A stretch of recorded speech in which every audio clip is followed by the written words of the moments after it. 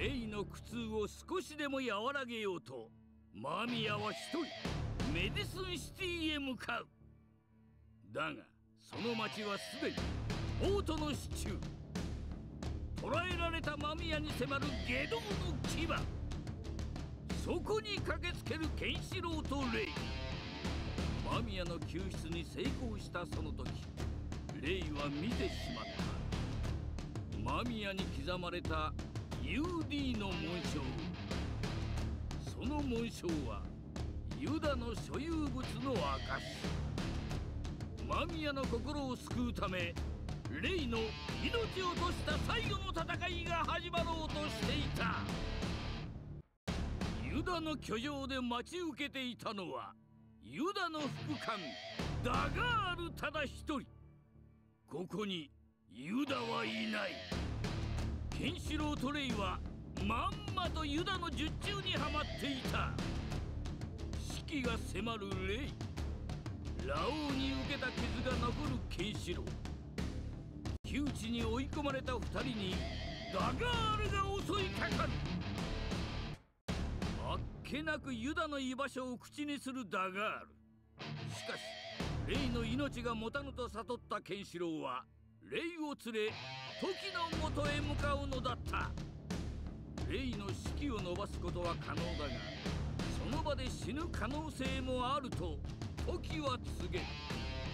その飛行に望みをかけるレイ激しい痛みが体中を駆け巡る。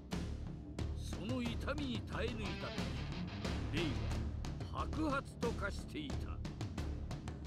少しばかりだが士気を伸ばしたレイユダとの決着が迫る。マミヤ この女は視聴生を見ているのだ。悲しい女よ。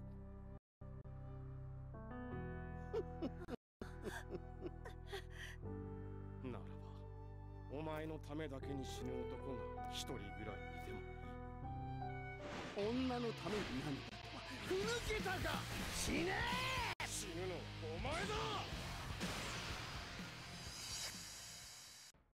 かつてレイと共に修行に励んでいたユダ。レイの華麗なる技。そのあまりにも美しすぎる姿にユダは一瞬魂を奪われた。生まれて初めて他人を美しいと感じた屈辱がレイに対する憎悪を生むのであった。それで俺に勝ったつもりか。愚か者だ入れろ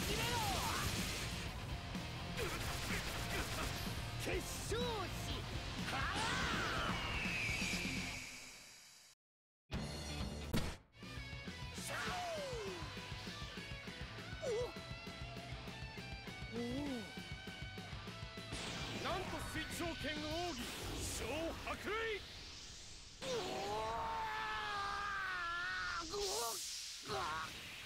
ババカな衰えたなユダレイ俺がただ一人この世で認めた男せめてその胸の中で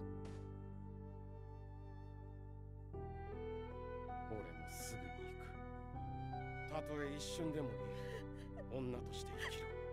レイ